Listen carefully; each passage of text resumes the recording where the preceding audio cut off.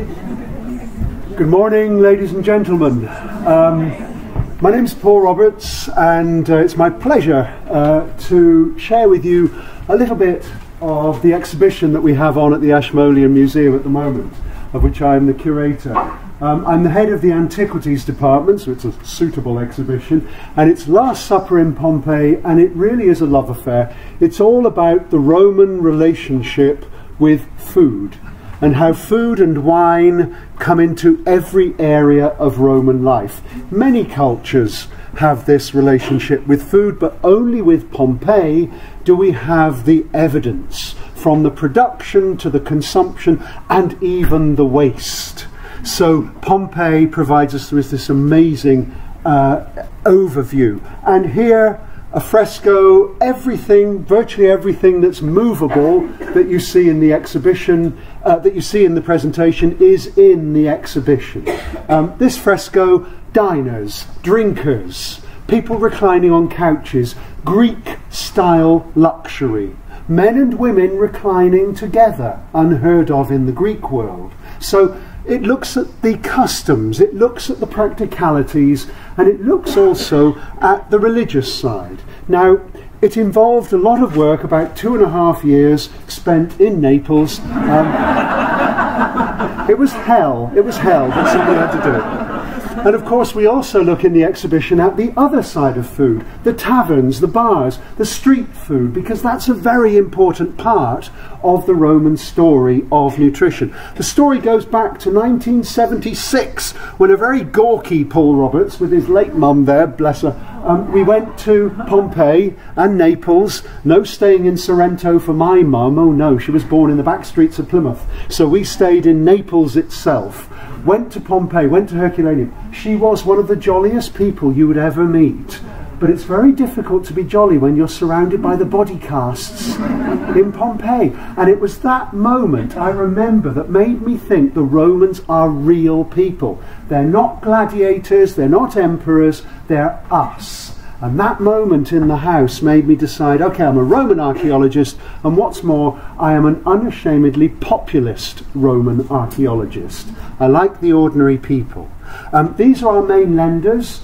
Bless them and save them. You have Pompeii, you have the National Museum at Naples, you have the British Museum, and us, the Ashmolean. I should say that the exhibition runs until January the 12th of January next year. It's the longest exhibition we've actually done in the Ashmoleans' history. When you come in, you'll be confronted by that beautiful fresco showing the luxury, showing the reclining, but you'll also see him. And he shows the other very important strand, the gods. Gods and superstition are everywhere with the Romans. You can't produce, buy, sell, cook, eat anything without recourse to the gods. And Bacchus, the god of wine, the god of fertility, a beautiful statue of Bacchus with, of course, his panther down bottom right, because Bacchus is an exotic god. Like wine, he comes from the east. But where did the Romans get their ideas from? They didn't invent the idea of the banquet. A lot of their ideas came from the other peoples in Italy, like the Etruscans. And you'll see some wonderful burial chests, beautifully coloured, because on high days and holidays you went back into the tomb and you banqueted and drank with great grandmama and great grandpapa. Hence you saw the tombs all the time. So it was very important that they were beautiful. And look how they show themselves reclining as if at a banquet. Hold that image in your mind. You will need it a lot later on. And in the tombs of the Etruscans, what do we find except vessels for drinking and eating? Even a little barbecue, so you could rustle up a quick snack in the tomb. They have an idea that why exclude the dead from the most important process of life? And the Romans continue that idea.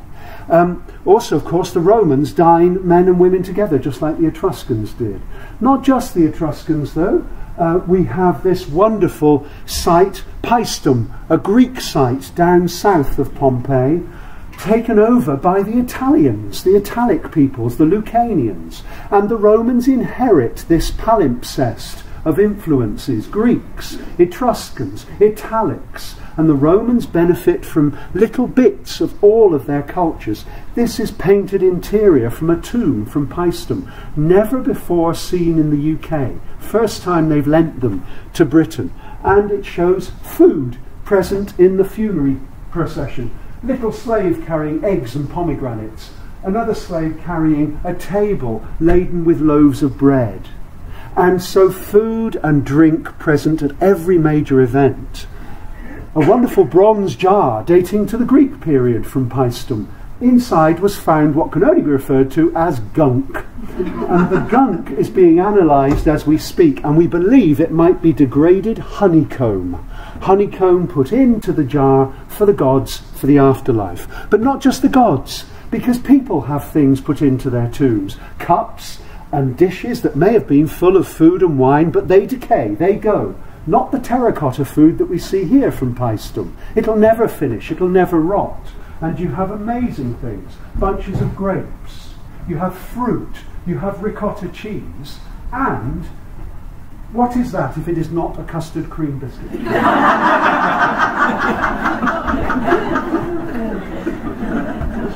So, where did the Romans get their food from? And we fly to the Bay of Naples, this wonderful fresco that comes from a slave's shrine to the gods, the slaves' quarters of the House of the Centenary. And what does it show? It shows Mount Vesuvius, it shows Bacchus, so fertile he's turned into a bunch of grapes.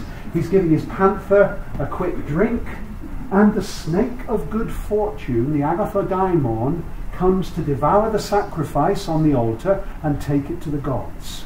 The snakes are sometimes good in Roman religion, but this shows how important wine was to the area.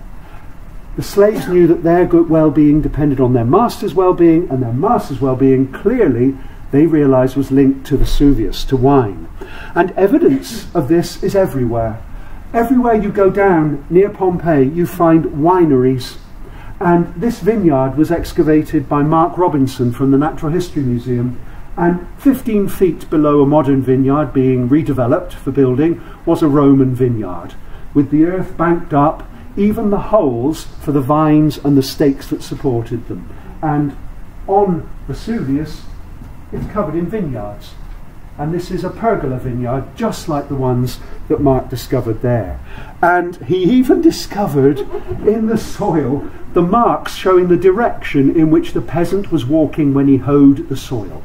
That's how well preserved the surface of the soil was. And still today, when you go to Vesuvius, the ludicrously rich volcanic soil is wonderful for grapes, for vines. And this is a vineyard where we went during the press trip in May and had a very enjoyable time. And, uh, well, well we, we, suffered. It was awful. It was, it was terrible.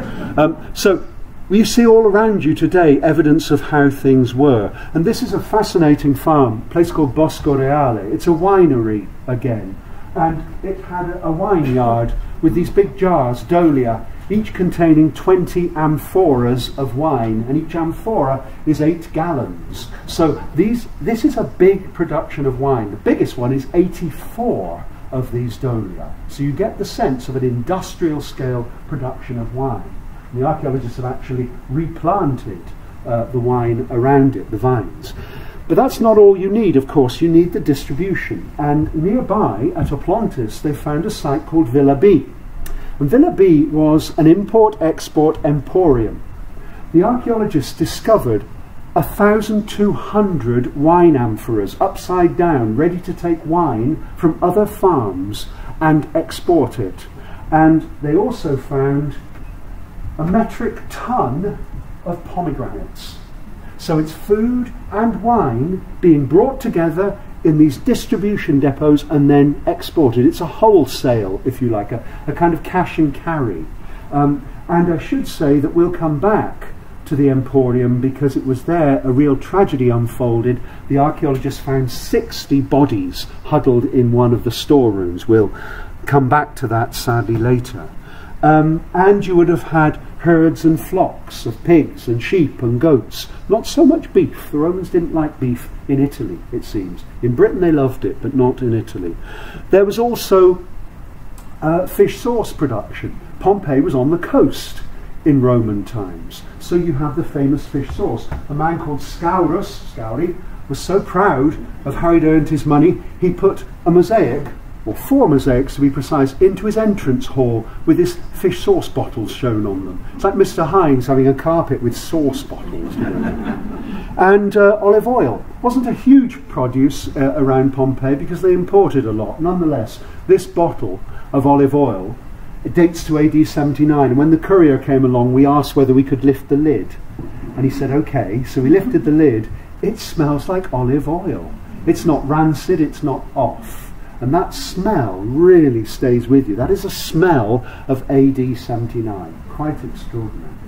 Um, and then you transport all your things into the city by boat, by slave, by cart and then into the streets. The streets were noisy, loud, smelly, and brightly coloured. There were pictures everywhere. There were the lower part of the walls were always painted red, but the upper parts were covered in images of gods and animals and graffiti and adverts. And when you look at modern Neapolitan streets, you see the same thing. It's impossible to see houses. It's shops everywhere. They call us a nation of shopkeepers. The Pompeians could teach us a thing or two and here find the house. It's actually there. All the rest are shops. And when you come to Pompeii, you see these wide, open fronted shops everywhere. There they are. There's one with a counter, which we can classify therefore as a bar, but here is an open fronted shop. And that's how they were wide open fronts. Let the air in, let the light in, let the customers in. This is typical of the Pompeian shops. And here's a tavern, the tavern of Vetutius Placidus and you've got one of these distinctive counters with the jars set in, hot and cold drinks, and the gods looking over everything. A shrine of the gods protecting you, your customers, and your produce. And from a bar near the arena in Pompeii, there was a marvellous opportunity. In Pompeii, they discovered in the 1950s a shop bar which had a bar garden at the back for drinking wine as a break from the arena, and there were 40 or 50 pots found in this shop. And for the first time ever, Pompeii allowed a foreign institution to take the pots home and conserve them. So we've been conserving 35 of these pots, and it's quite extraordinary the stories they tell. Um, pots for serving and cooking, and this one we thought was for holding water, and only yesterday we heard that they have found concreted into the copper at the bottom of the pan larvae, insect larvae. So in its last phase of life, it was being used to store meat or fish because they burrowed in to the meat and then got fossilized into the coating of the pot. So we're finding out so much by doing the conservation. Um, and in the bars, you have wine from all over the world you have food from all over the world. This is a, a jar of wine from the island of Rhodes. And this is the finest Roman wine. Fal, Falernian. This is the wine that the poet Horace raves about. And this is the only example from Pompeii of Falernian wine. Now, those of a nervous disposition, please look away, because your bar needed protection. And what better protection could there be than a ruddy great phallic lamp? And this is practical because it gives light. And of course, there's no organized lighting system in the streets of Pompeii. Private individuals light their own shops and bars. So you have a lamp there, you have a lamp there, um, and to give added protection, you hang bells from it. And this is guaranteed to keep away the evil spirits. And here is a modern shop in the streets of Naples, wide open front, people going in. Um, the gods, where are the gods? Well, there they are. There's the Virgin Mary, there's St. Francis, there's Padre Pio, the gods are in the shop just as they were in the Roman shop. But where's the phallic amulet, you say? it's over here. This is the cornu, the horn, the chili pepper. Ladies and gentlemen, it is neither a horn nor a chili pepper. um, the streets were full of colour. This is a pub sign, the sign of the golden phoenix. Phoenix, Felix et tu. The Felix is lucky, may you be lucky too. And that wall painting was lucky because it was cut from the walls in the 1950s. The rest of that street has lost every single scrap of its plaster. But that luckily was taken off and stored in the superintendency. And it's not all shops, it's not all buying and selling. This is a stall that looks like it's selling bread. It's not selling it at all. The bread stall seller is wearing a toga. He's not a slave selling bread, he's a politician giving loaves away. Can you imagine politicians being crooked and underhand? um, and there is a Pompeian loaf, preserved as it was on the 20th of October, not August, AD 79. And why do I say October? Because figs are present, pomegranates are present, and also, very importantly, that winery that we saw and many other wineries have closed their dolia. The vintage is in. That is physically impossible by the end of, of August, but it's not by the end of October, which is one of the alternative dates given in the manuscripts. And Giorgio Locatelli had a go at making a Pompeian loaf with some success, I must say. Um, let's go into the house, into the Pompeian house. You have the atrium, the entrance area.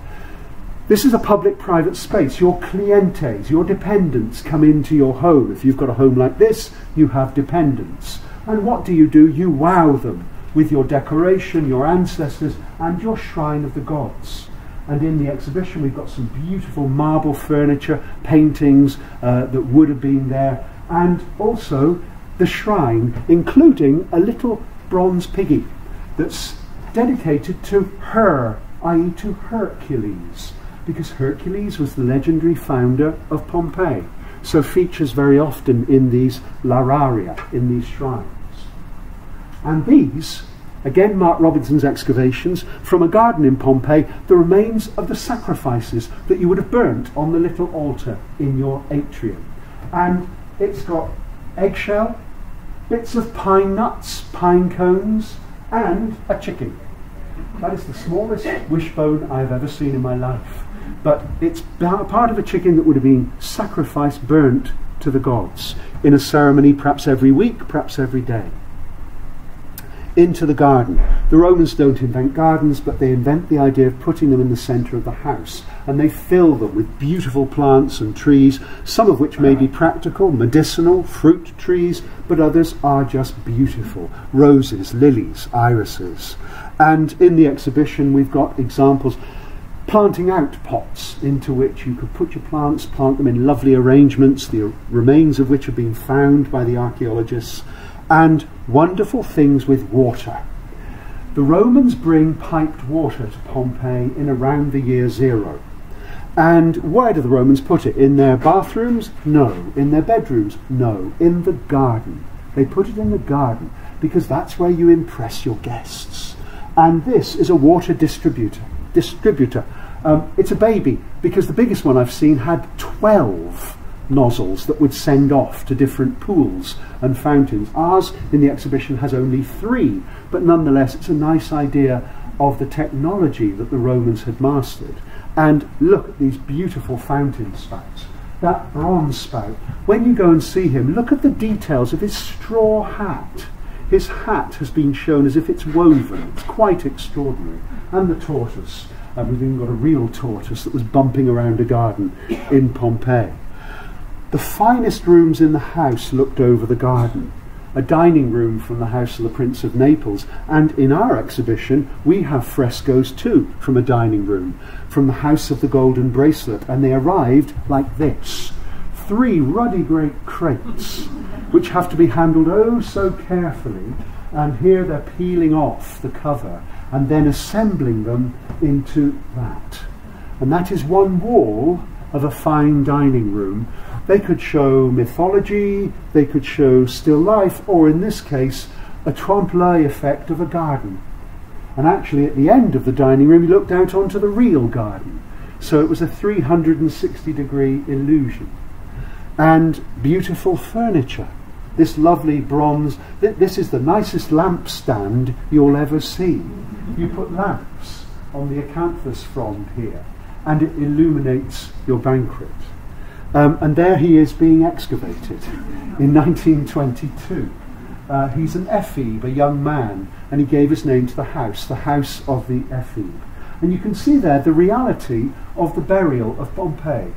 A quick lesson in the eruption Vesuvius hadn't erupted for centuries in AD 79. So when it erupts, it's very violent. It's an explosive eruption, rather like Mount St. Helens in America some years ago.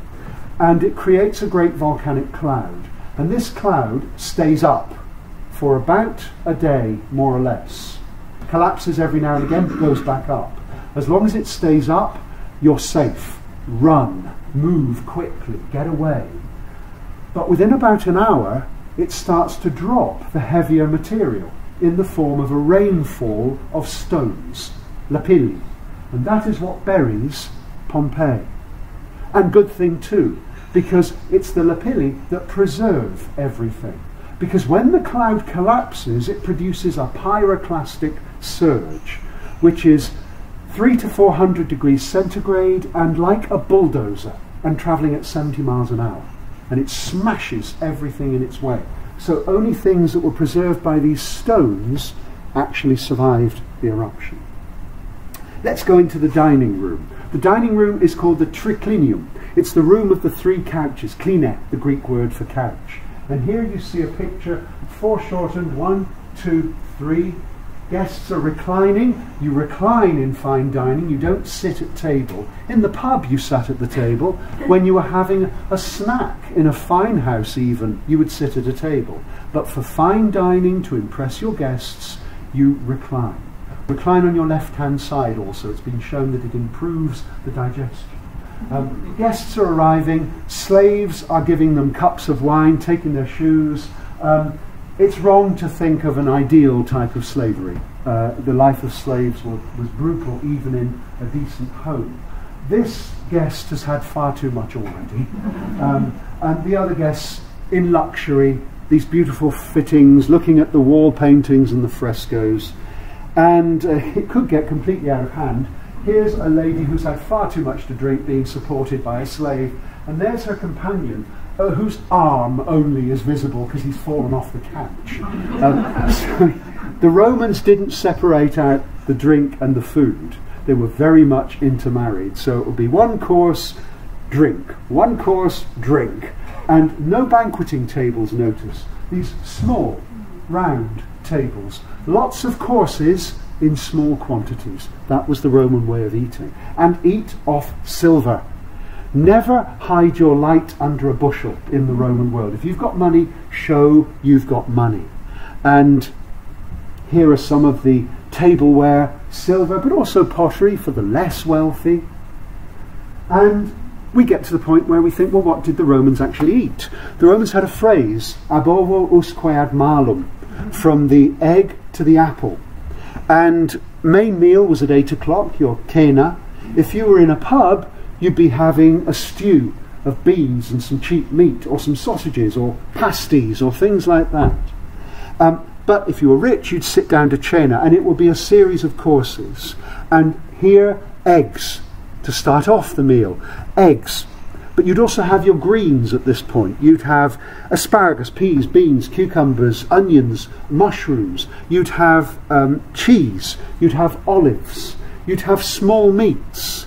You'd have fish, light poultry, that kind of thing. Um, garum would be everywhere. Garum, the fish sauce. Uh, the best fish sauce, according to Martial, was made from the blood of a still gasping mackerel. Mmm, delicious. Um, and, I, oh, I'm sorry I didn't warn you. Dormice. This is a cooked dormouse from a festival in Croatia where they still eat them. Seriously, folks. Um, and when you look at it, you think, oh, but I thought dormice were tiny. Field dormice are tiny. This is a glisglis. This is an edible dormouse. And I was assured by a specialist in dormice who visited me last week that when you have a well-fed dormouse, it's, it's rather like a beanbag with legs.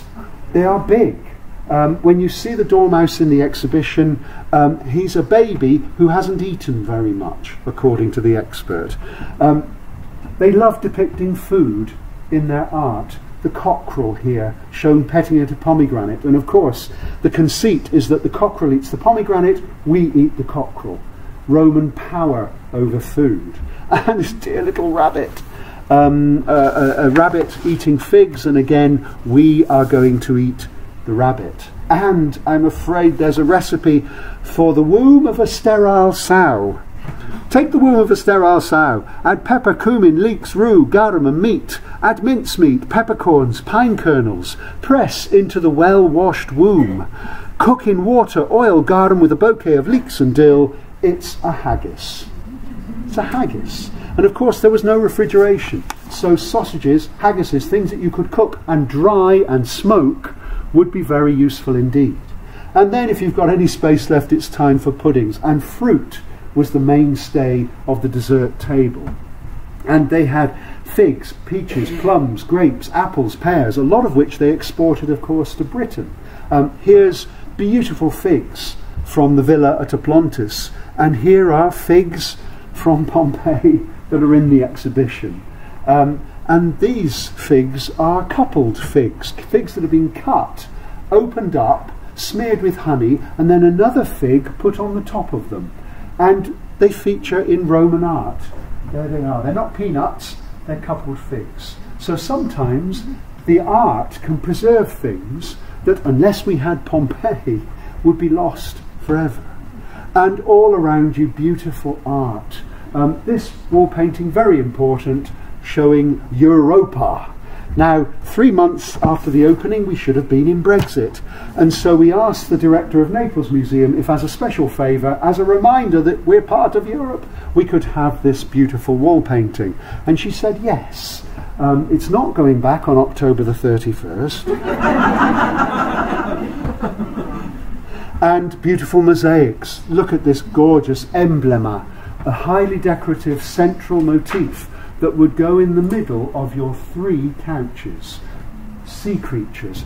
It's very heavy because it's set in a marble tray. So valuable was it that when you moved house, you could take it with you. Um, so the guy's mounting it there on the wall. And there were beautiful things all around, including antiques.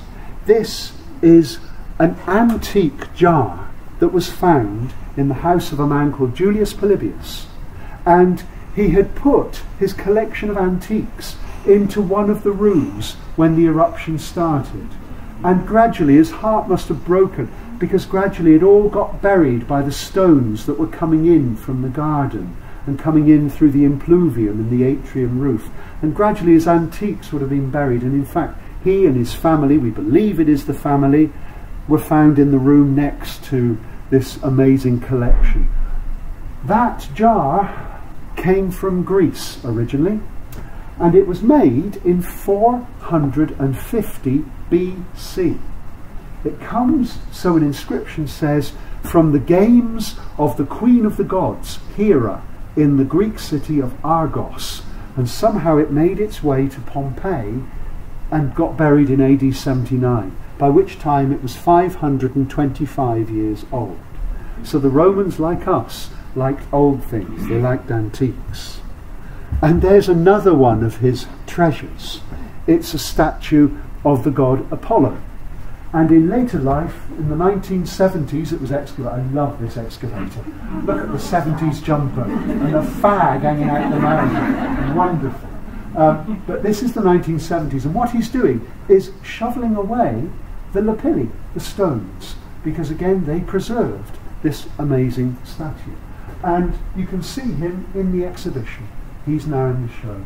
Um, and originally, uh, when the archaeologists found him, he had two supports set into his hands. In last years of his use, he'd been adapted as a tray bearer to take the empties from a banquet. I mean, poor Apollo, honestly. Um, but we can't display those bits because he's on open display. You can actually go up to him. Please don't touch him, but you can go up to him. You can admire those amazing eyes, the eyes made of stone and silver and glass. Um, eyes never survive in bronze statues. Bronze statues are rare, full stop, but the eyes hardly ever survive. So to have the two bronzes, the ephebe and him, with their eyes, they alone are worth going to see the exhibition for. I, am unbiased when I say that. they are masterpieces of Roman art which rarely travel. Um, but they're still excavating today. The Director General of Pompeii, Director Massimo Osanna, who is coming to give us a talk about this very subject on the 31st of October. You heard it here first. Uh, they're still excavating for purposes of conservation to try and improve the flow of water because climate is changing in Italy as well. Their summers, their winters, and their autumns are getting wetter and it's flooding, it's waterlogging the lapilli. And this is causing all sorts of trouble. It's pressing against excavated walls. It's ruining frescoes by sending water up through the walls and salts coming out of the frescoes. So they're trying to trim back the lapilli and improve the water flow. And in doing so, they're finding incredible treasures. Look at this amazing fresco of Leda and the swan. The swan being the god Zeus. Leda is going to be seduced by the god Zeus. He is a swan. She is therefore going to give birth with an egg. And in the egg is going to be Helen of Troy. And we know where that leads to. So this mosaic, this uh, fresco, as bright as the day it was painted. And this is how all frescoes emerged from the lapilli of Pompeii. But if they're not covered over, then the sun destroys them, the rain destroys them, and I'm afraid mindless tourists destroy them as well. Look at this. This isn't a fine fresco. Well, it is. It's a beautiful fresco, but it's on a bar counter. This is a bar counter with the amphorae from the bar still in front of it. And a, quite a famous photo that made it to the BBC News page. This poor man, um, he'd almost made it to safety, and then the lintel of the door that he was heading for dropped on him. And doesn't that remind us, carpe diem? A wonderful mosaic from a dining room, not my idea of a dining room floor decoration, but for the Romans, perfect, because death was closer to the Romans. Infant mortality was shocking. The average expectancy of life, I'm 50, what am I, 58? I'm doing very well by Roman standards, very well indeed. Um, so disease rampant in the empire. So he's a reminder that the banquet, which is the apex of living, the word in Roman for a banquet is a convivium. Convivium. You live together, you bring together, you enjoy, because the alternative is this. But you know, even death isn't too bad because he's bringing the wine jugs. we can have a great time before we go. And there is one of the wine jugs that Death was holding. We've got one in the exhibition. And thinking of wine, the Romans were terrible wine snobs. And this is connected with the wine ceremony. The Greeks put wine and water into a crater, big vase, mixed it up, dished it out, off you go. Not the Romans. Inheriting probably ideas from the Etruscans, they had an ornate ceremony. The slaves took wine around and put some in each cup. But then another slave would go around with a tray of herbs and honey and spices, and each guest would mix how they fancied. And then you'd come around with the hot water dispenser, which is what this is, a samovar. And then a little bit of hot water with your wine, sir, madam. You know, you'd make your own concoction. And when you go to Italy today, you go to a bar, how many different types of coffee are there? Well, with the Romans, it was their wine. And that's the inside of the water heater. That's the reservoir for the charcoal, and the water is in the outside. There's how it works. Into the kitchen. Estate agents say the kitchen is the room that sells the house. Not in a Roman house. Oh, no, no, no. Avoid a Roman kitchen like the plague. They're dark, they're dingy, they're smelly. This one is unusual. It has windows. But one thing it also has in common with many other kitchens, there's the cooking platform. It's not an aga, there's no burners going through it, it's a flat platform. It's raised hearth cooking. And there's the toilet. Cooker, toilet. If you don't understand germs and cross infection, it makes an awful lot of sense to put dirty things together into one space. And that's just what the Romans did and lots of kitchen utensils. yes, I know. Ah, the dormouse jar, and there's Squeaky the dormouse, um, who is young and hasn't eaten very much. Remember that when you see the show. Um, there's something that, according to Apicius, the Roman recipe writer or collector, you cook dormice under. It's a portable oven, a clibanus. There's the typical cooking pot and tripod. Remember, you're cooking on a platform. No burners, so you need to raise it or put it right into the ash. And there are the cooking facilities for a poorer house, uh, the equivalent of a baby Belling, if you like. Um, and that's a kettle, and it's still got the lime scale on the inside of it. And there, Squeaky the Dormouse, inside a Dormouse jar, which has a ramp running round the inside, not for they can keep healthy, but so they can get the cups for the, for the well, beech nuts, as the specialist told me. They love beech nuts, which were abundant around Pompeii. Um, and air holes so they can breathe because you put a lid on to make them think it's hibernation time. And they eat and eat and eat and get fat and fat and fat. And then you cook them. Um, now, the Romans knew there was something wrong about the kitchen. There's something wrong. They don't understand what. So they call on the gods for help. This was found near a toilet kitchen in Pompeii. Isis Fortuna, a blend of the two goddesses, looking after a young man who is relieving himself, protected by the snakes of good fortune, as we saw on the Lararium scene with Vesuvius. And some wag has written over the top, Cacator cave malum, which can only be translated as crapper, take care. You're in a dangerous place. Now, for the last section of the exhibition, I wanted to see what happened when the Romans take their ideas, culture and agriculture, and move to Britannia. And guess what? We take to it immediately. First thing, as we saw with the Italian side, is the gods. And you have British gods, you have the mother goddesses, but you also have an invasion of the Mediterranean gods. This is from my native museum at Cirencester, and you can see Mercury the god of travellers, the god of messengers, shopkeepers, but in Britain seems to have a much greater importance. You find sanctuaries to Mercury all over the place. And there he is with his cockerel, the bird, the cockerel, and Mercury is, if you like, at the vanguard of all these Mediterranean gods, including Bacchus, including Jupiter, including all of them. Now, the debate about ale or wine, we have a focus in the exhibition third section on beer production. Mm-hmm. Ale wine. Well, there's this myth that the ancient Britons had beer and then the Romans came along and brought their wine. Well, guess what? They brought both. There's no evidence for beer production in Iron Age Britain, sad to say. It really does look like it came with the Roman legions from Germany. So, beer, guess what? Is German. And when they were digging the Bloomberg site in central London, they found a waterlogged deposit filled with wooden letters.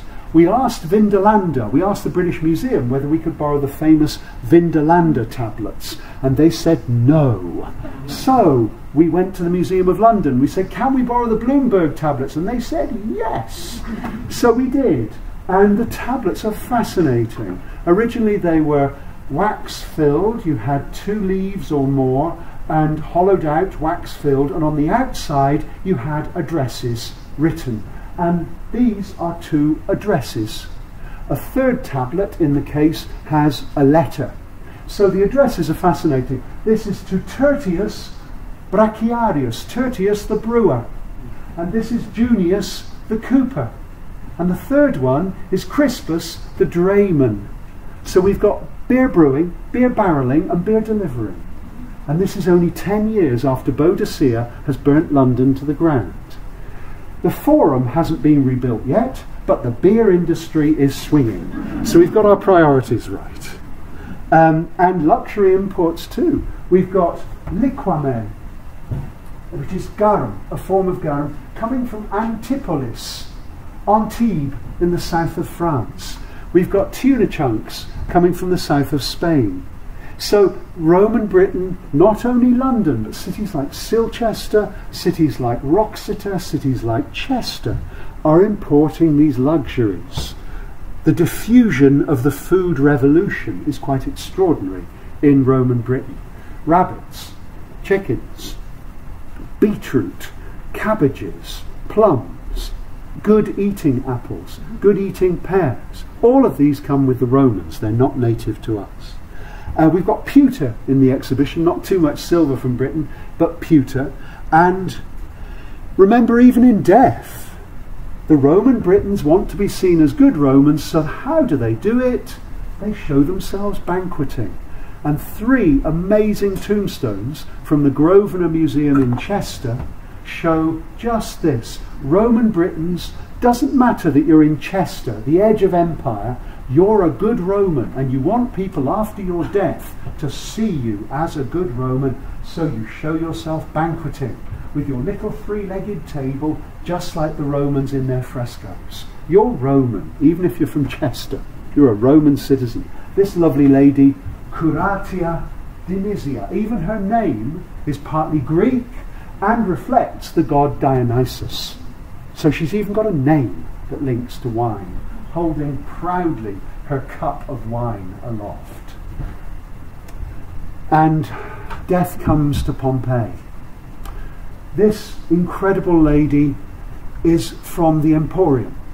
You remember I said that 60 people died in one of the storerooms, including this lady. Now, normally, when the archaeologists made the casts, they cast them in plaster of Paris. They decided to make one cast in resin instead. It was fiendishly difficult because the resin dissipated through the ash. Plaster of Paris is gloopy and it sticks. The resin didn't. So what they did, it was almost as if they were casting a bronze statue. They put wax into the void first and then replaced it with the resin. And the result was this lady, the resin lady whose bones you can see, whose jewellery you can see through the resin. That's, that's why they did it. They wanted to be able to see the person for the first time. They've never done another one since because it was too time consuming and too expensive. This lady, therefore, is unique. And the other thing about her is she is real. When you see her, you are looking at a real person. She is not a copy. All the other Pompeian casts that you see in exhibitions, including the exhibition we did in, in London six years ago, all the white casts are copies because they're simply too fragile to travel, whereas she is real. So when you see her, just remember she's a real person who witnessed the eruption. And she had gold jewellery with her, this. She had a jug that she was probably drinking from practically in those terrifying last hours. But the other amazing thing is, when you look at her tummy, you can see beads. And these are cheap pottery beads. So as well as gold jewellery, she had carried with her in her purse, by her tummy, she'd carried a cheap necklace. Why? I believe it was probably something of sentimental value. Her daughter gave it to her, her grandmother gave it to her. But as well as the gold jewellery, which was valuable, she carried this cheap set of beads. We can't finish with her because it's too desperately sad. It reminds us that Pompeii is not Disney. It was a disaster. It killed thousands of people, it wiped out an ecosystem, and it gave us this incredible gift. It's very much a two edged sword. We can't finish with that. Let's finish with the afterlife because when we saw the fresco at the beginning, this is what the resin lady was probably hoping for in her afterlife. She didn't have a funeral with offerings to the gods and a beautiful tombstone. She wanted an afterlife like this, where she'd be dining, reclining with her loved ones in luxury, with her little three legged table piled up with drinking vessels, food and drink, dining into all eternity. And that's what we can give her back if we think of it. Thank you for listening and do come and see the exhibition. Thank you.